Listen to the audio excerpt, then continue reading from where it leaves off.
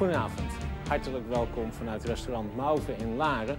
Het programma dat dit jaar precies 118 keer onderzocht, ontmaskerde, aanklaagde en verdedigde. Maar net als vorig jaar, in de laatste uitzending van dit jaar, op een andere manier en vanaf een andere locatie de misdaad belicht. Vanavond gaat het om deze acht mensen, die dag in dag uit het leed met zich meedragen van gruwelijke misdrijven waar ze onvrijwillig bij betrokken raakten. En het gaat ook over de strijd die zij moeten leveren voor gerechtigheid of een oplossing van de zaak. Het zijn dossiers waar ik me niet alleen als misdaadjournalist, maar ook persoonlijk bij betrokken voel.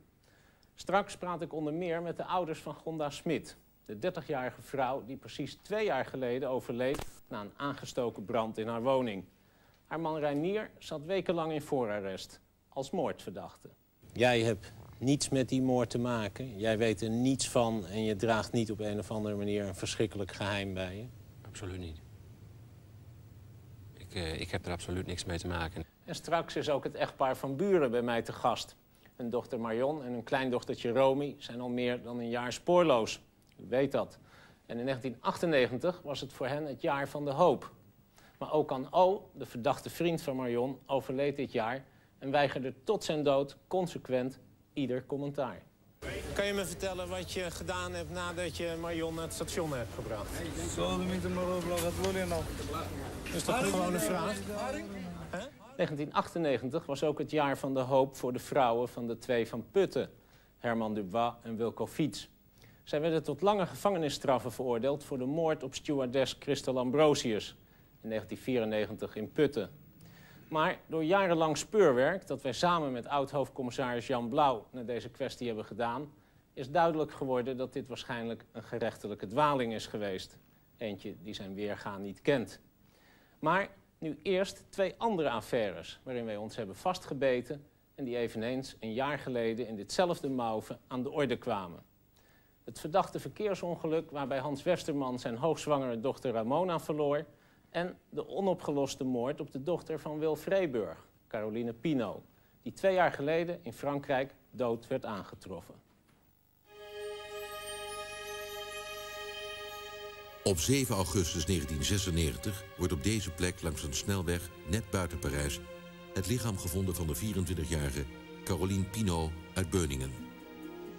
Zij is samen met een vriend, Mark, op liftvakantie geweest naar Portugal op de terugreis krijgen zij en haar reisgenoot ruzie. Ze hebben op dat moment een lift van ene Jean-Pierre, een Franse chauffeur. De oneenigheid loopt zo hoog op dat Mark en Caroline in de Zuid-Franse badplaats Hendaye uit elkaar gaan. Mark blijft achter op het strand en reist de volgende dag per trein terug naar Nederland, terwijl Caroline alleen met Jean-Pierre verder gaat. Een dag later, op 26 juli, neemt ze nog geld op bij een bank op het station van de Noord-Franse stad Rennes, 500 kilometer verderop. Dat is direct haar laatste levensteken, want twaalf dagen later wordt ze vermoord gevonden bij Parijs. Ze is gewurgd en in haar slaapzak op deze plek langs de snelweg gedumpt. De Franse recherche stelt een onderzoek in, maar laat daarbij een aantal steken vallen.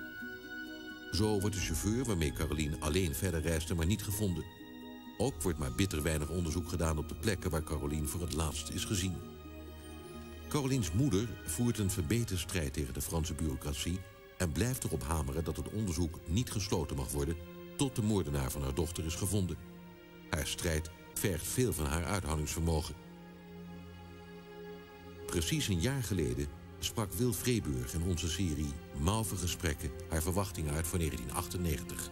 Ik hoop uh, volgend jaar een stukje meer harmonie gevonden te hebben bij, in mezelf en ook uh, in, in het gezin met elkaar. Dat we dat, uh, dat we dat gewoon aankunnen. In 1998 bereikten ons uit Frankrijk enkele nieuwe ontwikkelingen. De belangrijkste getuige, de chauffeur Jean-Pierre, is inmiddels gevonden. Hij verklaart dat reisgenoot Mark Caroline hinderlijk probeerde te versieren... en dat daar de ruzie over ging... die uiteindelijk leidde tot het uit elkaar gaan in de badplaats Hendaye. Ongeveer 100 kilometer noordelijker in het plaatsje Castet... heeft Jean-Pierre Caroline de parkeerplaats van een wegrestaurant afgezet. Hij heeft niet meer gekeken waar ze heen ging, al dus Jean-Pierre. Nieuw onderzoek in onder meer heeft niets opgeleverd. De jongste actie van de Franse recherche is een nieuw sporenonderzoek op het slipje dat Carolien droeg toen ze werd gevonden. Men probeert zo na twee jaar alsnog te achterhalen of zij seksueel contact heeft gehad en zo ja, of er DNA is te isoleren. De uitslag laat nog op zich wachten. Dag Wil, welkom in Mauven weer. De recherche is iets verder gekomen, maar niet zo heel veel, hè? Nee, niet, niet veel, nee. Ik probeer natuurlijk uh, verder te komen met heel die ellende. En ik krijg er nu dan toch weer heel erg hartkloppingen van als ik het weer allemaal zie gebeuren. En dat gevecht wat ik heb gevoerd, dat leidt uh, dus tot uh, niks. Niet tot het aanhouden van een dader in ieder geval. Nee, nu, gaat deze er, manier. nu gaat de recherche weer aanvullend laboratoriumonderzoek doen. Maar eigenlijk heb je dat je met je nuchter verstand zegt... jongens, dat hadden jullie toch twee jaar geleden al moeten doen. Waarom ja. nu pas? Ja, dat is dus de vraag die ik twee jaar geleden ook al had. Van waarom zijn er niet de doodgewone dingen gebeurd die gebeuren moesten? Die hele belangrijke zaken als het zoeken naar spullen van Carolien. Het, uh, ja, de meest essentiële dingen die heel direct moeten gebeuren als een, een, een, een moord is gepleegd. Die Word je daar niet hels om? Dat dat Nee, nu pas gebeurt? Ja, nu niet meer hoor. Ik, ik, ik begin nu dus meer een, een andere weg in te slaan, want eh, anders eh, overleef ik dat niet. Hè, en het is wel de. eh, ik moet dus leven met het feit dat mijn dochter er niet meer is. En dan kan ik me vastbijten in een, in een onderzoek, niet vlot. Maar daar, als ik met mijn nuchtere verstand het zo zie gebeuren, dan kan ik daar heel lang op wachten. En er zijn natuurlijk momenten dat ik me daar vreselijk boos over kan maken, maar dat levert gewoon niks op. Behalve frus- frustratie Ja. voor jezelf. Ja, en mijn gezin. Je zei me vorig jaar ook van... ik ben wel heel erg veranderd door deze gang van zaken. Ik ben veel harder geworden. Ik vertrouw niemand meer. Je illustreerde dat bijvoorbeeld ook door te zeggen... dat je voor de doodstraf bent geworden. Heeft dat proces, die verharding, heeft zich dat voortgezet? Nee, ik denk het niet. Nee, want ehm, dat is heel toevallig. Ik vond eh, van de week ben ik weer gaan lezen in een dagboekje van Carolien. En daar schrijft zij in van, ehm, zij, zij had al zo haar verdrietjes en zo. En daar schrijft ze, ik word steeds harder. Omdat ik nou al zoveel meegemaakt heb, word ik steeds harder. En eh, dan schrijft ze eigenlijk later van, ehm, het, nou heb ik dit meegemaakt en nou ben ik nog niet harder geworden. Dat, eh, dat, dat gaat dus niet. En daar dacht ik van de week over na. En toen dacht ik, ja, dat klopt. Je eh, gaat wel eh, voor, je probeert een, eh, een scherm op te trekken. Dan lijk je harder, maar je blijft in wezen dezelfde die je was. En als je een gevoelig iemand bent, dan blijf je dat. Ben je daar dat blij heb om? ik eigenlijk, ja, eigenlijk wel. Want je, ik denk niet dat het goed is als je keihard gaat worden. En dat kan je ook niet. Maar je kunt een beetje, een beetje spelen met een schermpje optrekken en zo. En dat heb ik dan weer van Carolien. En in die zin eh, ja, leert zij mij eigenlijk nog steeds. eh, en daar word ik niet harder van, eigenlijk alleen maar zachter. Kan je zeggen dat alle ellende, alle verdriet je ook nog iets goeds heeft gebracht? Ja, ik ben namelijk met Carolien bezig. En anders ben je met, de, met een dader bezig die je niet kent en waar je niks weet. En dat, dat houdt een keer op als die ook niet gevonden. Daarbij, ik zie dan ook bij mensen die dan wel eh, een dader eh, weten... dat zij alleen nog maar bezig zijn met eh, frustratie over de dader... die ten eerste te kort gestraft is meestal... Ten tweede, dan komt hij vrij, dan komt hij ergens rondlopen. Dan, dan zijn ze bang dat ze hem tegenkomen. Dan willen ze hem ook nog eh, een kopje kleiner gaan maken. En dan heb ik wel eens gedacht, misschien ben ik wel beter af als ik het niet weet. Zo ga je allemaal denken.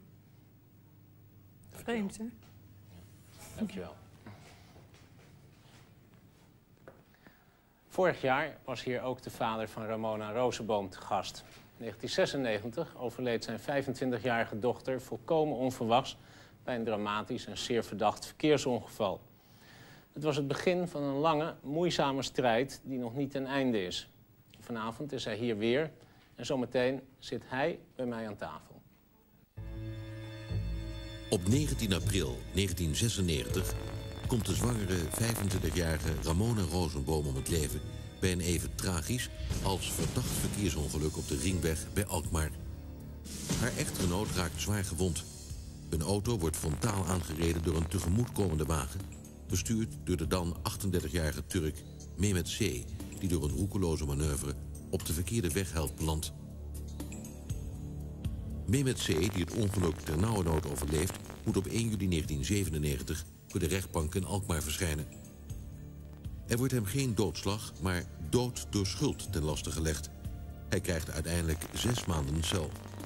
Doodslag wordt uit de tenlastelegging geschrapt... omdat dit volgens de officier van justitie niet bewezen kon worden. Maar volgens Hans en Sylvia Westerman, de ouders van Ramona... is de recherche veel te snel uitgegaan van een gewoon ongeluk. Niks dood door schuld, zeggen zij. Mehmet C. heeft zo roekeloos en onbedachtzaam gereden... dat hij zijn eigen leven en dat van anderen doelbewust in gevaar heeft gebracht. Opzet dus, oftewel doodslag. Op hun verzoek duiken wij in de zaak en ontdekken dat er aan het fatale ongeluk het nodige vooraf is gegaan. Zo bleek dat Mehmet C. kort voor het ongeluk ruzie had met ene Sahin in een Turks koffiehuis. De politie heeft deze ruzie nooit onderzocht, ondanks de belofte dat wel te zullen doen. Die is toen later heeft ook nog een onderzoek ingesteld in het koffiehuis. Nou, ik weet niet hoor. U bent nooit gehoord door de politie? Nee, nee, Na de ruzie zou Sahin samen met een vriend zijn weggereden... waarna Mehmet C. de achtervolging inzette. Toen C. hen van de weg wilde rijden, verloor hij de macht over het stuur... en kwam in botsing met de auto van... Uit deze 0611 weekendbeelden van vlak na het ongeluk... waarvan wij de geluidskwaliteit verbeterden... bleek dat Sahin het volgende zegt tegen zijn vriend.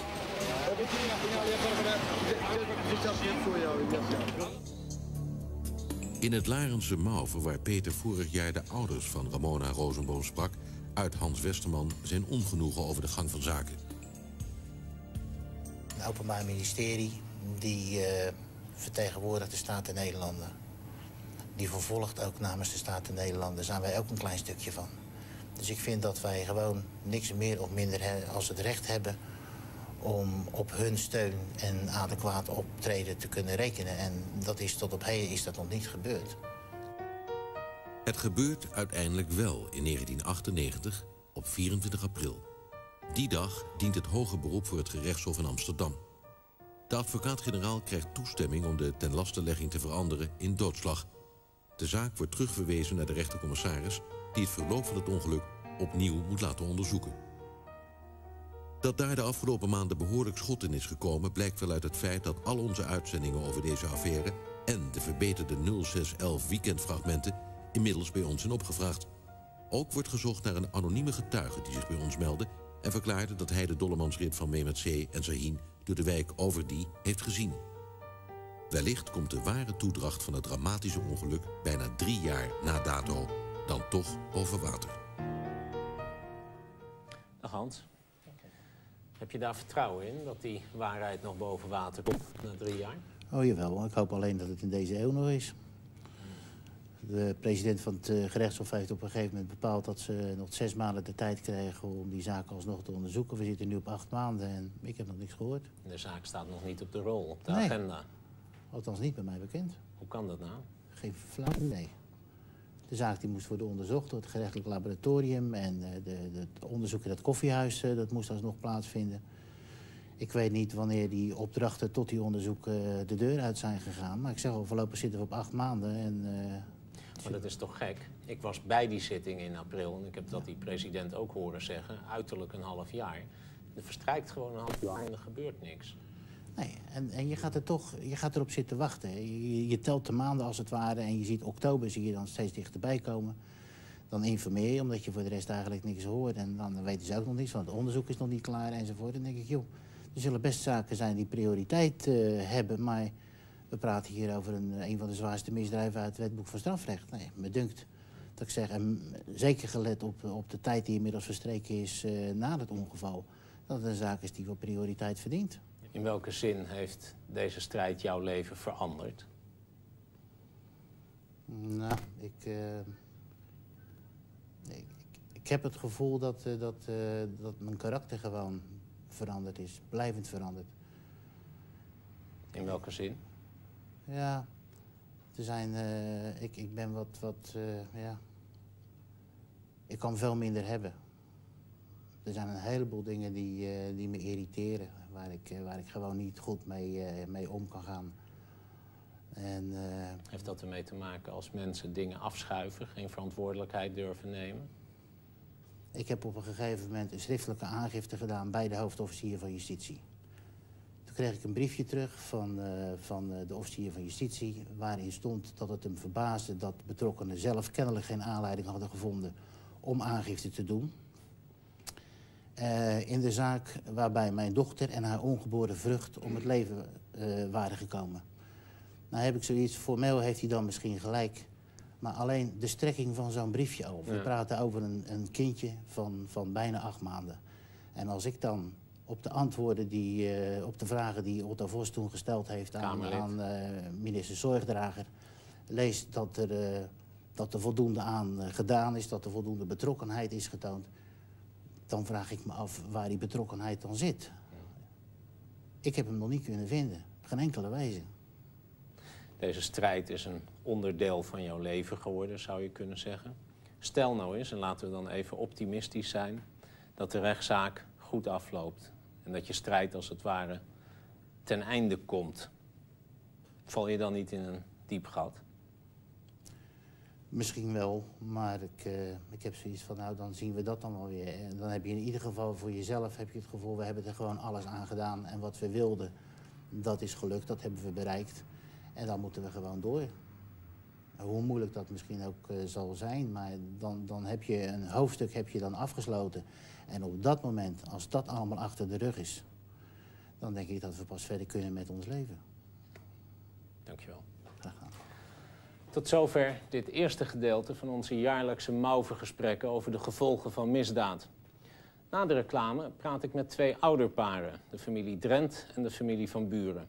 Hun levens worden, en dat kan ik zonder overdrijving zeggen, dag en nacht beheerst door het dramatische lot dat hun dochters trof en de vele vragen die tot op de dag van vandaag onbeantwoord zijn gebleven. Tot zometeen.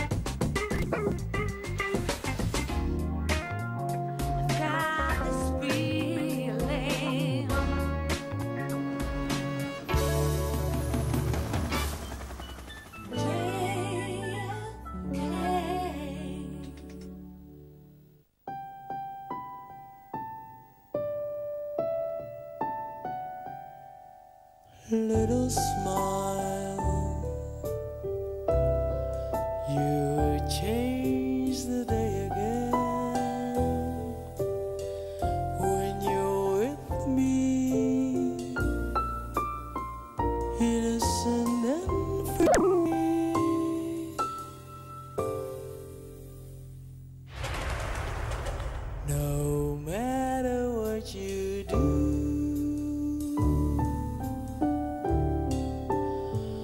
You make my dream come true.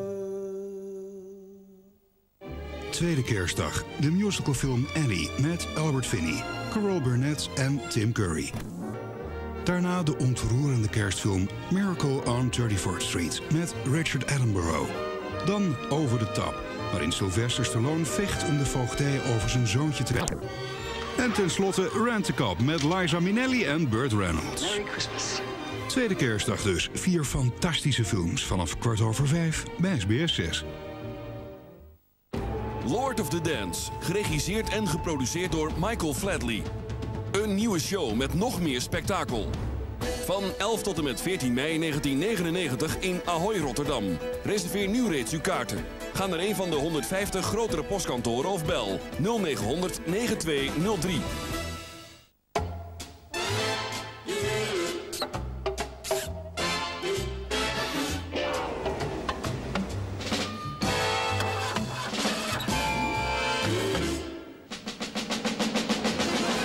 Vanaf nu voor altijd bij McDonald's. De Mac Deluxe. Een lekkere berg knisperig verse sla, tomaat, verse uitjes, komkommer en een supergrote burger.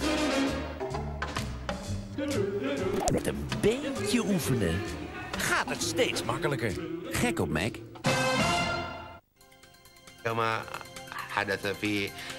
Hitler. Crisis in Irak. We houden u op de hoogte. Rond 11 uur. Skiën de moeilijke manier.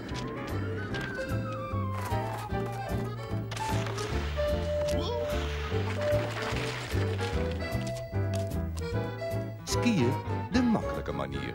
Bespaar je de moeite van contant geld met Visa. De kaart die wereldwijd voor meer transacties geaccepteerd wordt dan enig andere kaart. Visa maakt het leven makkelijker. Bel nu gratis 0800 80 40. De Mac Deluxe is er ook met bacon. Gek op Mac.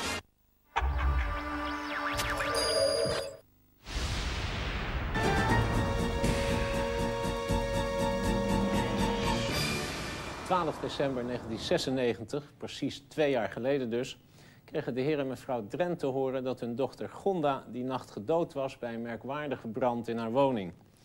Het was het begin van een nachtmerrie die nog altijd niet is afgelopen. Want de dood van de 30-jarige Gonda Smit was geen ongeluk, maar ze bleek het slachtoffer van een gruwelijk misdrijf. En de hoofdverdachte, dat was hun schoonzoon.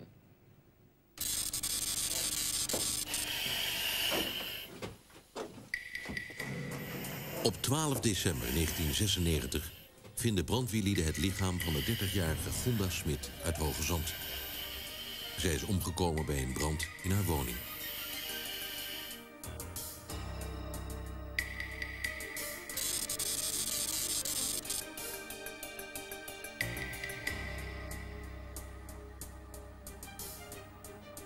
Nog geen week later blijkt dat de brand is aangestoken.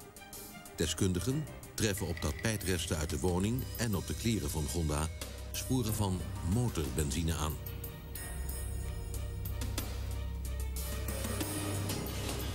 Uit een voorlopige sectie blijkt bovendien dat de hals van Gonda is doorsneden. En dat ze een schedelbreuk heeft, ontstaan door geweld van buitenaf. Bijvoorbeeld door een klap op haar hoofd. Aldus de sectiearts. Een week na de brand staat vast dat Gonda Smit, moeder van twee kinderen, het slachtoffer is van een gruwelijk misdrijf. De verdenking valt al snel op haar echtgenoot Reinier Smit. Notabene de man die de brand had gemeld en die als held werd beschouwd nadat hij samen met zijn buurman zijn kinderen van een vuurdood had weten te redden. Maar uit het politieonderzoek komt een heel andere Reinier Smit naar voren.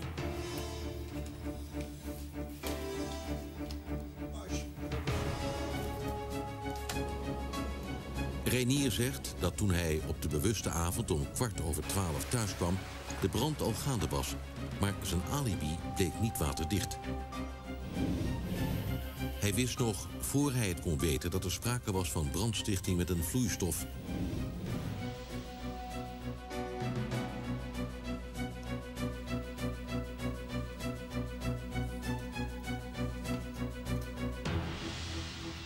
Twee maanden voor de brand heeft Renier in het Groningse casino iemand benaderd...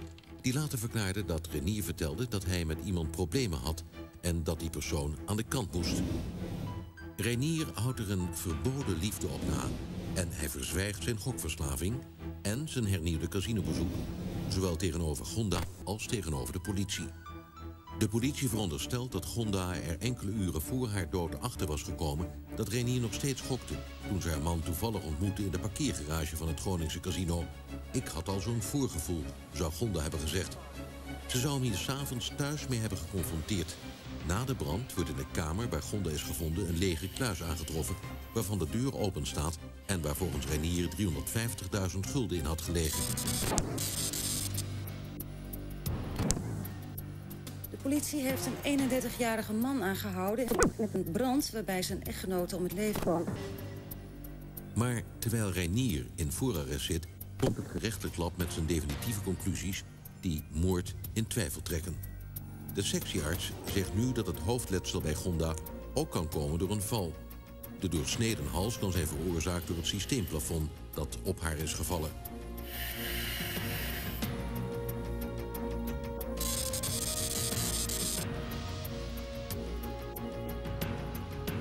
Drie maanden na de brand hoopt de politie met een reconstructie dat Reiniers verklaringen over de fatale nacht niet en dat hij toch achter de dood van zijn vrouw zit.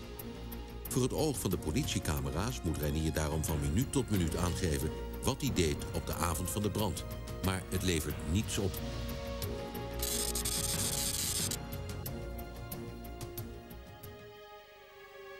Reinier Smit wordt na 50 dagen voor arrest vrijgelaten wegens gebrek aan bewijs. Het onderzoek wordt een paar maanden later gestart. De dood van Gonda Smit blijft onopgelost. Mevrouw Drent, u verliest door die brand uw dochter.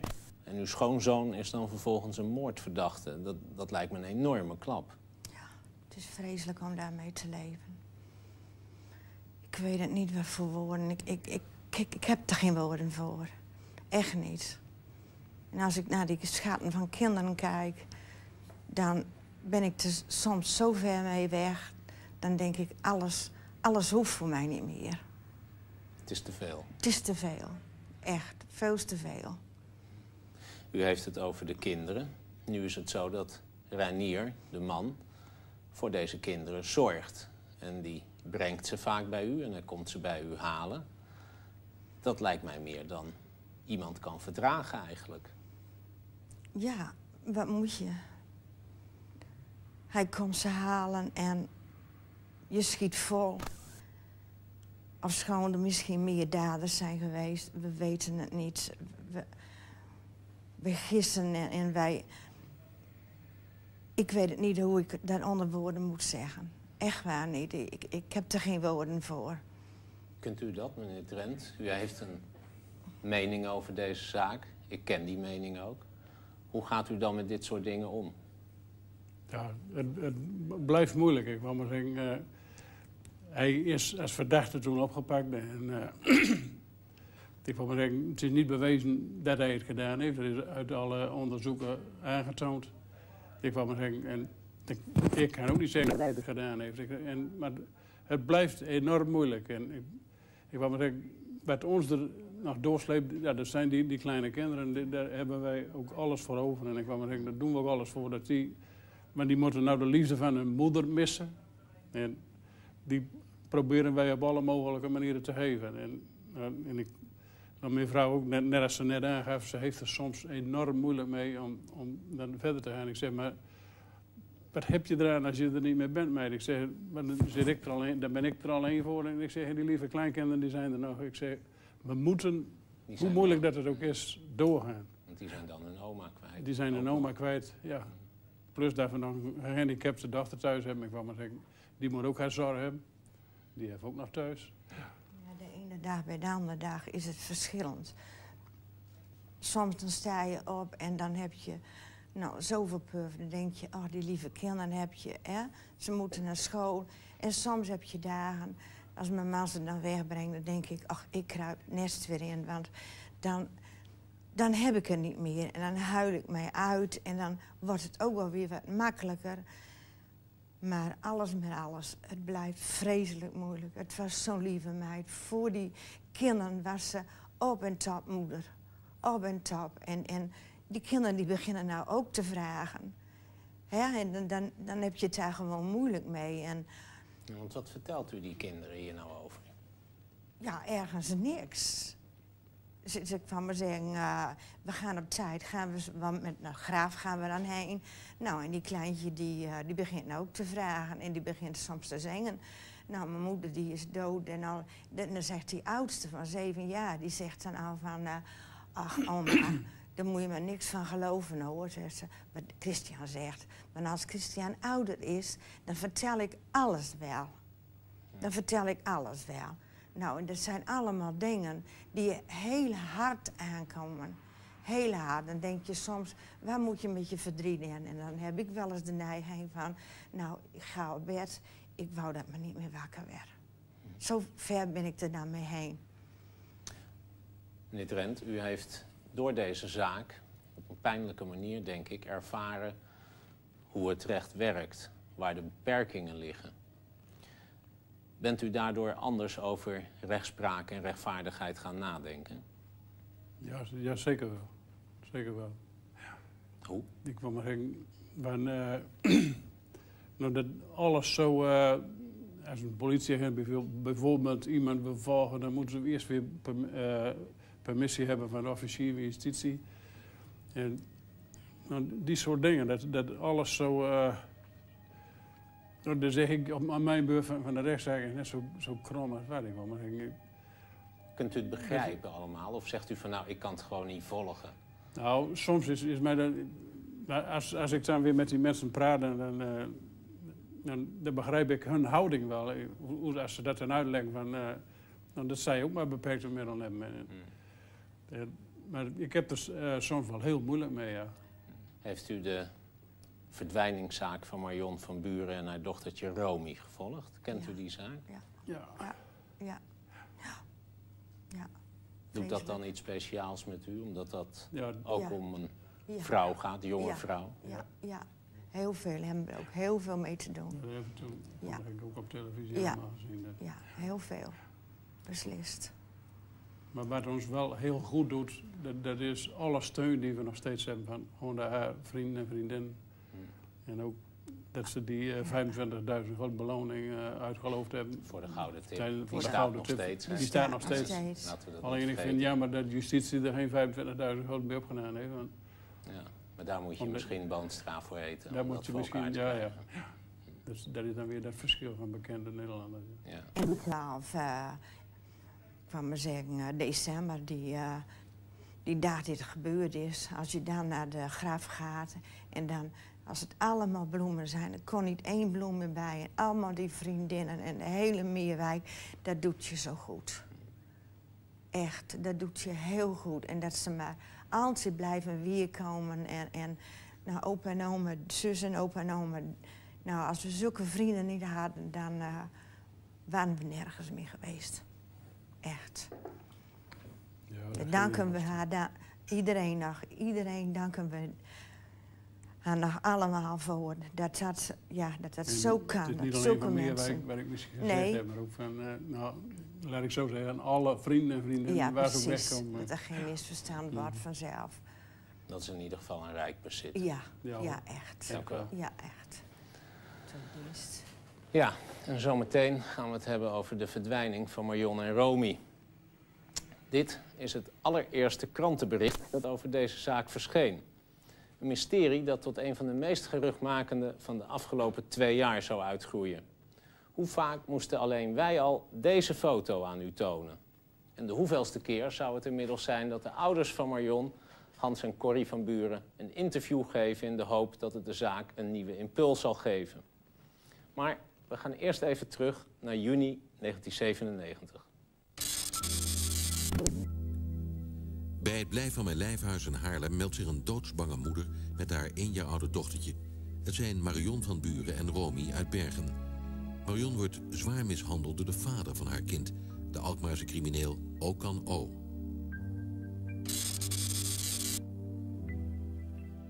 Marion en Romy hebben toch weer een ontmoeting met Okan hier in Marions huisje in Bergen. Ze krijgen een knallende ruzie en aan het begin van de avond vertrekt het drietal Okan rijden deze gifgroene Opel Kadett cabriolet met ze weg richting Alkmaar. Moeder en dochter worden nooit meer gezien. Okan O zegt tegen de politie dat hij ze naar het station in Alkmaar heeft gebracht, maar daar zijn geen getuigen van.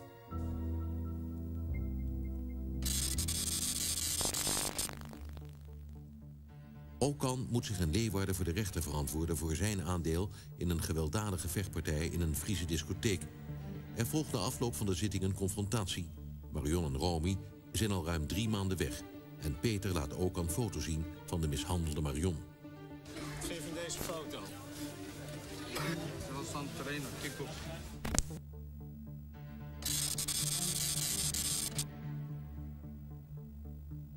Okan moet zich nu in Alkmaar voor de rechter verantwoorden... voor een aantal van die mishandelingen van Marion. Hij zal uiteindelijk worden veroordeeld tot een werkstraf.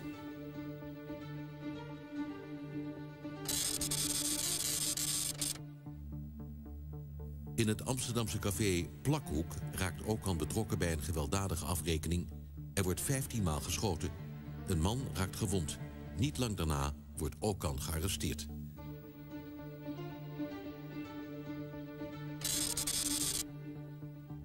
Okan wordt nu officieel verdacht van de mysterieuze verdwijning van Marion en Romy. Er zijn inmiddels ook regelmatig zoekacties, onder meer langs de afsluitdijk, maar er wordt niets gevonden. En Okan, hij zwijgt in alle talen. Ondanks zijn hardnekkige zwijgen hoopt eigenlijk heel Nederland in 1998 op een doorbraak. Maar het lijkt een race tegen de klok te worden wanneer duidelijk wordt dat Okan ongeneeslijk ziek is. We besluiten daarom wekelijks deze oproep uit te zenden. Een laatste kans. Als jij weet waar Marion en Romy zijn en je bent zo ernstig ziek, zou jij ons dan willen zeggen waar ze zijn?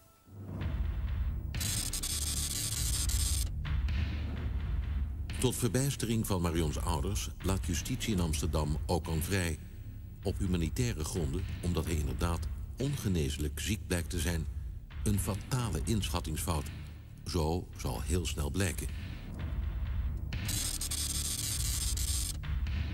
Drie dagen na zijn vrijlating pleegt Okan O met twee vrienden... een gewapende overval op deze Rabobank in het Noord-Hollandse Het Zand. Ze maken meer dan een ton buit en schieten tijdens een wilde klopjacht op de achtervolgende politie. Hierbij wordt een voorbijgangster getroffen.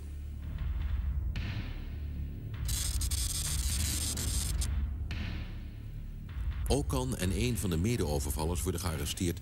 terwijl ze in deze snackbar in Alkmaar staan te flipperen.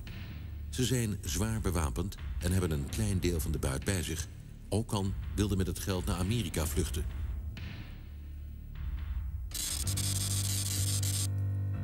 Okans gezondheid gaat snel achteruit. Hij heeft kanker en wordt overgebracht naar het gevangenisziekenhuis in Scheveningen. Voor de recherche begint nu een race tegen de klok. Zal hij iets loslaten over het lot van Marion en Romy voor hij sterft?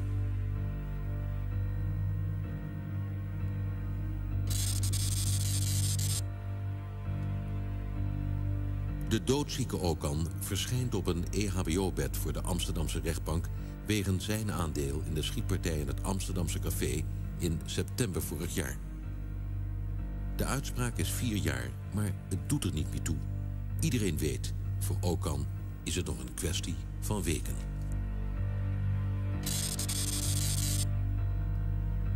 Wat iedereen vreest, gebeurt. Okan sterft zonder iets los te laten in de armen van zijn moeder in het gevangenisziekenhuis in Scheveningen. Zijn lichaam wordt overgebracht naar zijn geboorteland Turkije. Als hij weet wat er met Marion en Romy is gebeurd, dan ligt er een vreselijk geheim begraven in een klein Turks bergdorpje.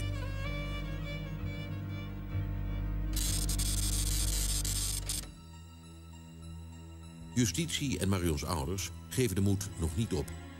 In gezamenlijk overleg wordt de beloning voor de gouden tip verhoogd tot een ton. De recherche denkt dat Okan zijn geheim misschien met een vriend uit zijn milieu heeft gedeeld. Met de hoge beloning hoopt men nu vooral mensen uit Okans directe omgeving over de streep te trekken. Maar het blijft stil. Dat is misschien wel niet zo vreemd, want Okans allerbeste vriend, Aziz K., blijkt spoorloos verdwenen. Als Okan zijn geheim met iemand heeft gedeeld, dan moet het wel haast deze 28-jarige Surinamer zijn. Ze waren tot aan Okans dood onafscheidelijk. Deze Aziz was in juli nog veroordeeld tot zeven jaar cel wegens zijn aandeel in de bankoverval met Okan, maar hij is nog steeds voortvluchtig. Datzelfde geldt voor een tweede man uit Okans milieu die mogelijk iets weet. De Zandammer Ferhat A. Van hem is bekend dat hij omgang had met Marion en dat hij Okan wel eens heeft gedreigd om Marion iets aan te doen. Verder wordt Okan ervan verdacht dat hij bij Ferhats woning een brandbom naar binnen heeft gegooid. Maar deze Ferhat blijkt al sinds de verdwijning van Marion en Romy spoorloos te zijn. Weet Ferhat A misschien meer? De recherche kan het hem niet vragen.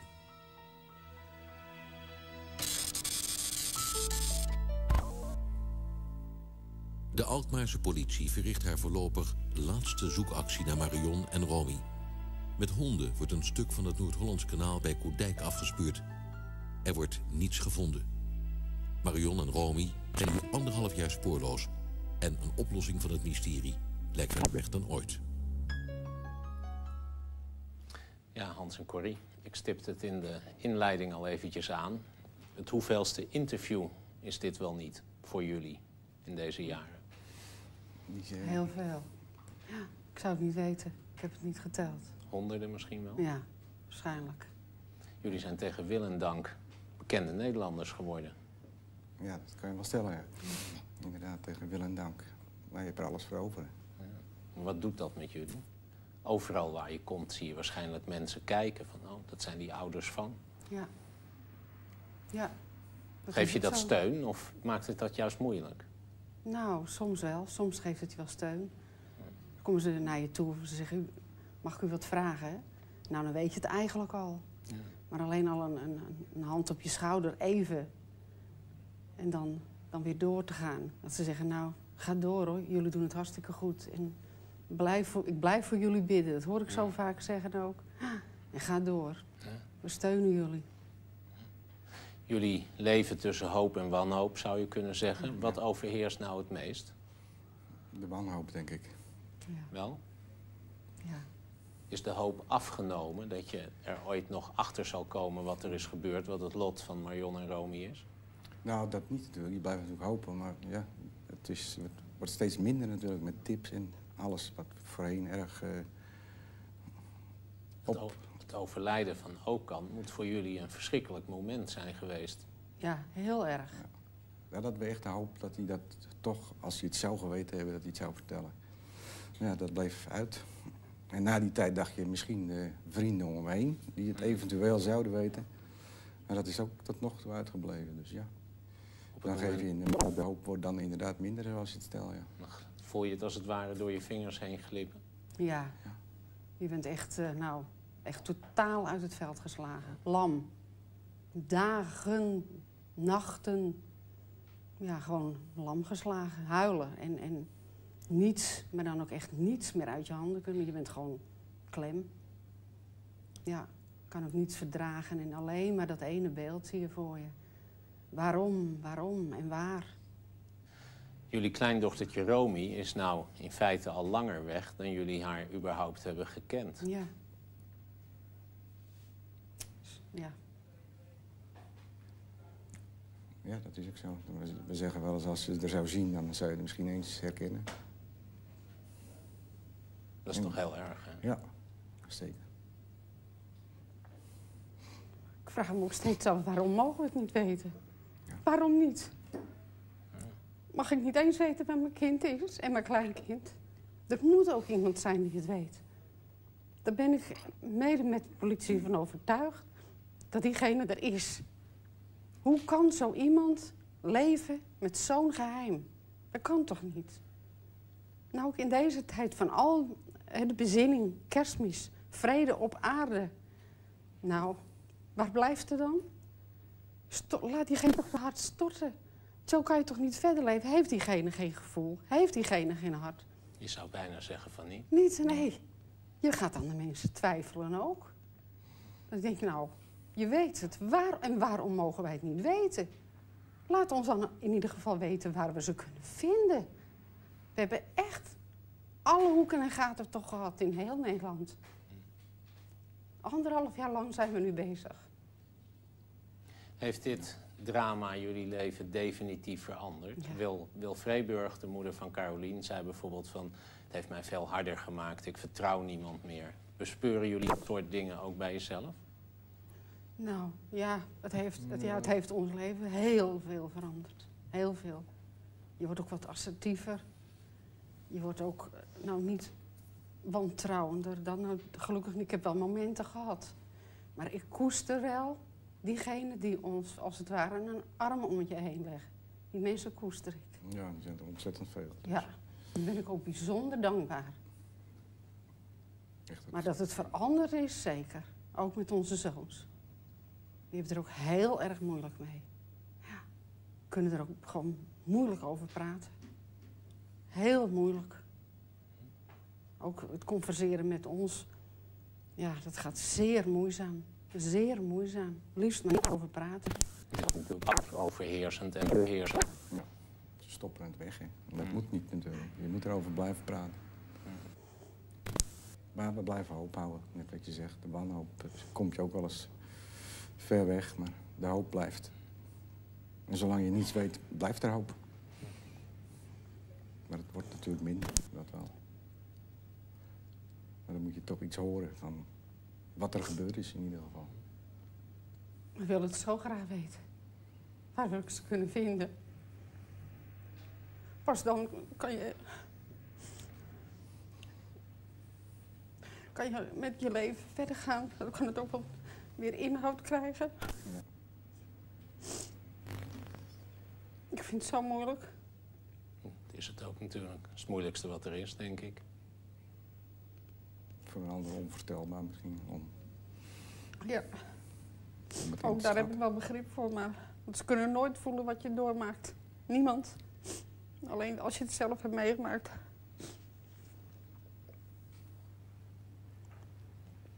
Het is gewoon in en in triest. En dan gewoon ook te bedenken dat, dat er gewoon iemand moet. Er moet iemand zijn die het weet. Ja, laat diegene het maar zeggen. Er staat- Alsjeblieft. Er staat een beloning op van 100.000 gulden, dus... Ook al is het anoniem. Wou ik net zeggen. Ze kunnen het ook jou bellen om te zeggen alleen maar waar we ze kunnen vinden. Ik hoef niet de dader te weten. Dat hoef ik al niet eens meer. Ik wil alleen waar Marion en Romy zijn. Dat wil ik weten. Nou, ik hoop dat degene die hier iets van weet, dat hij heeft gekeken. Het lijkt me dat hij dat niet kan negeren. Dank jullie wel. Oké. Na de reclame ziet u het slot van deze speciale Mauve-uitzending... met twee vrouwen die vijf jaar geleden nog kerst en oud en nieuw vierden... in gezelschap van hun mannen. Maar sindsdien niet meer. Niet omdat hun partners werden vermoord... maar omdat ze volgens justitie zelf een jong meisje hebben verkracht en vermoord... en daarvoor in de gevangenis zitten. Maar alles wijst erop dat dit een gerechtelijke dwaling is. Tot zometeen.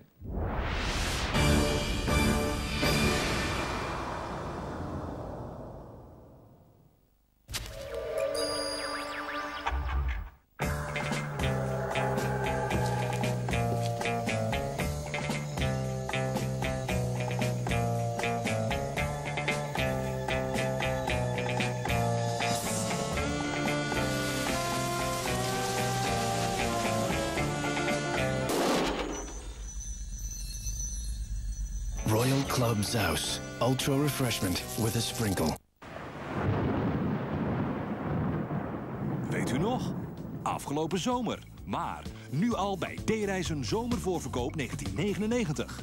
Eerste keus uit de nieuwe reisgidsen en honderden guldens voordeel. Ga snel naar een van de vele D-Reizen vakantiewinkels. En haal de gratis krant om komende zomer echt van de zon te genieten. Vakanties beginnen bij D-Reizen. Reken maar. New Royal Club sprinklers. Ultra refreshment with a sprinkle.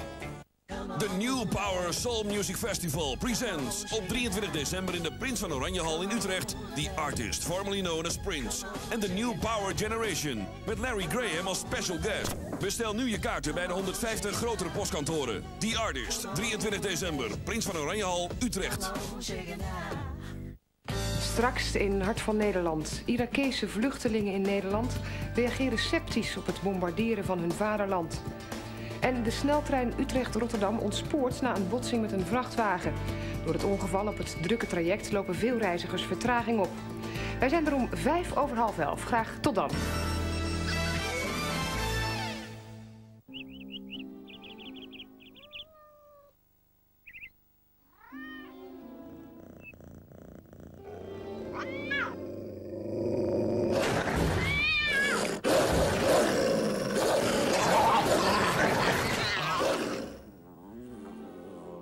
Geel, maar dan anders. Leerdammer. Proef het. We verbannen de dromen naar morgen en later, maar doet het je stiekem geen pijn? Dat je dan pas zou doen wat je altijd al wou, als er nooit De bestemming van Marco Borsato. meer een morgen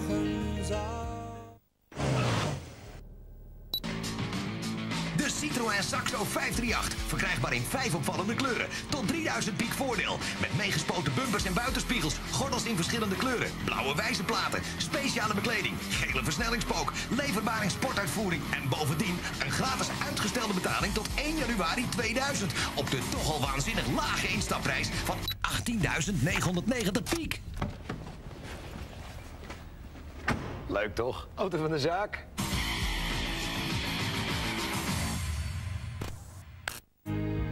Ook de bestemming van Marco Borsato koop je met de platenbon. Nieuwe werelden ontdekken. Kuiltje bij Tabak voor Man. Nu ook Kuiltje bij Tabak Blue. Exotisch fris. De nacht van 31 december. Gelredome in Arnhem. In samenwerking met SBS 6. SBS 6. Het grootste en spectaculairste oudejaars dance event van Nederland. De Radio 58 New Year's Eve. Met onder andere Chaos, Slash, Solid Harmony, DJ Jean, Miss Monica, DJ Quicksilver. Kaarten 75 gulden. Alleen in de voorverkoop verkrijgbaar bij de grotere postkantoren en grenswisselkantoren. Of 24 uur per dag via de Gelredome reserveerlijn 0900 1314. 75 cent. De Radio 58 New Year's Eve. Don't miss it. Be there.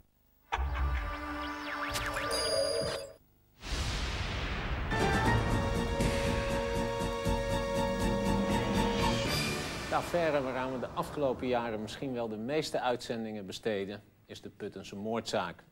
Want volgens mij, maar bijvoorbeeld ook volgens oud-hoofdcommissaris Jan Blauw, zijn voor de moord in 1994 op de stewardess Christel Ambrosius de verkeerde mannen tot lange vrijheidsstraffen veroordeeld. En, als dat zo is, dus het slachtoffer van een enorme gerechtelijke dwaling. De vrouwen van de vermeende moordenaars, die nu al bijna vijf jaar vastzitten, zijn net als in 1997 vanavond hier. Maar eerst een korte terugblik.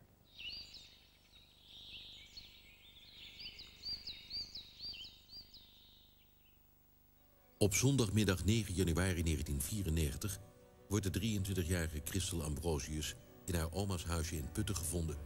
Ze is op gruwelijke wijze vermoord.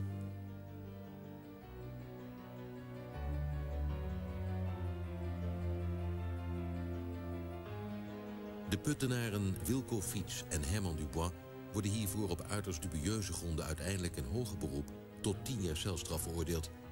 Het meest omstreden in de hele zaak is wel een grote spermadruppel op het been van het slachtoffer, waarvan onopstootelijk vaststaat dat hij niet van de mannen afkomstig is. Desondanks hebben de twee er inmiddels het grootste deel van hun straf op zitten. Buiten de gevangenismuren wordt de verbeterde strijd om hun eerherstel onvermoeibaar voortgezet. Ons onderzoek in samenwerking met oud-hoofdcommissaris Blauw naar de moord op Christel Ambrosius, naar het recherchewerk en naar de veroordeling van de twee mannen leverde de afgelopen jaren een berg van twijfels, fouten en ontlastende aanwijzingen op. Vorig jaar spraken de vrouwen van de veroordeelde puttenaren in restaurant Malve in Laren hun hoop uit voor 1998. Nou, ik hoop in ieder geval dan samen met Herman hier te zitten. Dat zou Dat we natuurlijk een al. tafel eh, hebben? Ja, zeker. Maar dan zou het natuurlijk. eh, dat zou gewoon perfect wezen. Dat zou ook in mijn ogen, dat heb ik ook al vaker gezegd, niet meer als terecht zijn. Ja, dat. eh, maar hoe ik het jaren, waar ik ook op hoop, dat kan ik eigenlijk in één woord zeggen, dat is gerechtigheid. Dit voorjaar toonden wij aan dat de recherche kennelijk doelbewust belangrijke feiten en omstandigheden buiten het dossier had gehouden. Zo bleek dat er een onderzoek was verricht naar een man die op de dag van de moord in de buurt van de plaats delict was geweest en die exact zo'n auto reed als waar volgens de recherche de veroordeelde mannen op dat moment ook in zouden hebben gereden. Iets wat de rechters dus nooit hebben kunnen weten, omdat het simpelweg niet in het dossier was opgenomen. En ook twee advocaten zagen nieuwe kansen voor heropening van het onderzoek. Meester Doedens uit Utrecht en meester Spong uit Den Haag. Spong startte een procedure voor de Europese Commissie voor de Rechten van de Mens in Straatsburg. Hij trachtte de commissieleden ervan te overtuigen dat de Puttenaren een oneerlijk proces hadden gehad... doordat er politiedossierstukken door het Openbaar Ministerie waren achtergehouden. Maar het mocht niet baten. Dit najaar kwam de beslissing. Het verzoekschrift werd unaniem niet ontvankelijk verklaard. Volgens Spong zijn nu alle mogelijkheden uitgeput. Maar ondertussen heeft de Utrechtse strafpleiter Doedens nog pijlen op zijn boog. Hij probeerde deze zomer via een zogenoemd voorlopig getuigenverhoor voor de rechtbank in Den Haag eveneens aan te tonen dat Fiets en Dubois onrecht was aangedaan doordat ze een oneerlijk proces hadden gehad.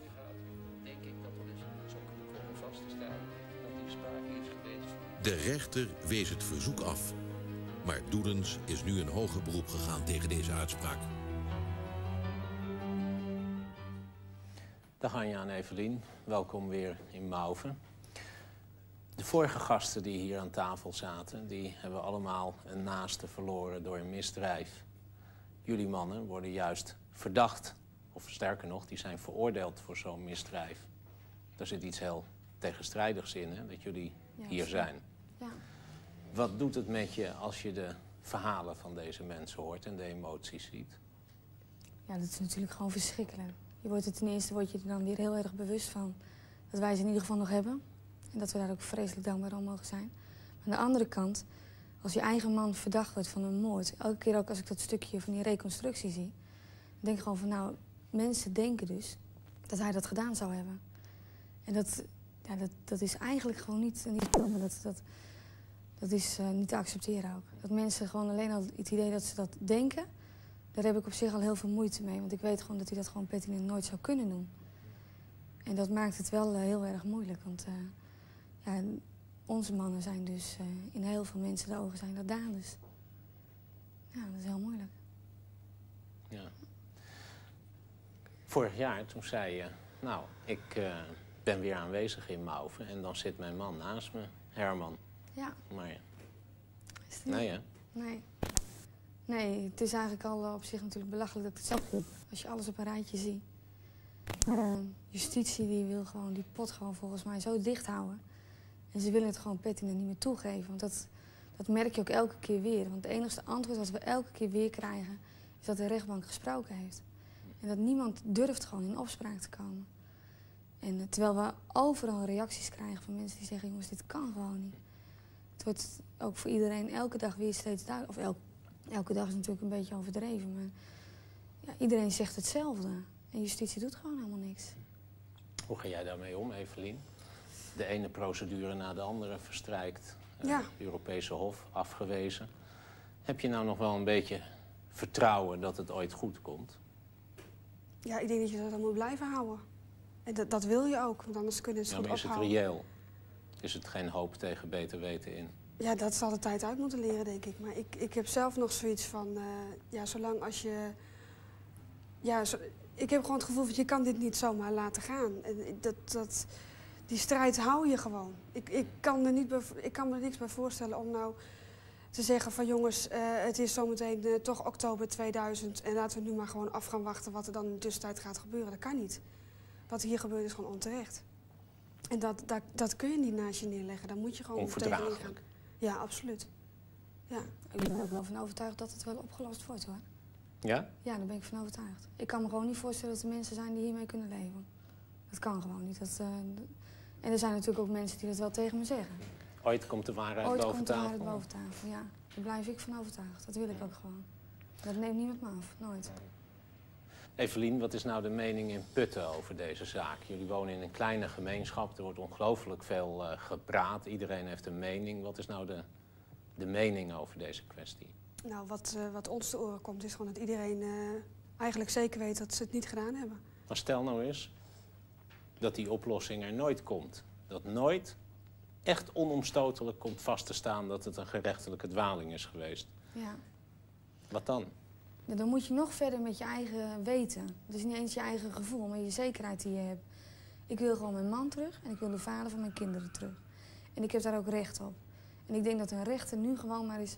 dat er eentje dan maar eens een kerel moet wezen... en die moet zeggen van jongens, dit kan gewoon niet. Het heeft veel te lang geduurd en het moet nu maar eens stoppen. Maar ik ben wel bang dat het niet gebeurt. Ik heb wel hoop, maar ik heb wel ook mijn angsten, ja. Nou, ik hoop dat die duidelijkheid in het nieuwe jaar heel gauw komt. Dank je. Tot zover deze bijzondere laatste aflevering van 1998. Eentje met zichtbare en onzichtbare emoties.